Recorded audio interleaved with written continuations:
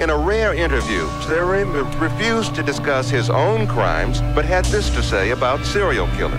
Uh, a serial killer comes about by circumstances. It's like a recipe. Poverty, drugs, child abuse, these fucking, these things, they contribute to a person. Uh, a person's frustration and anger, anger.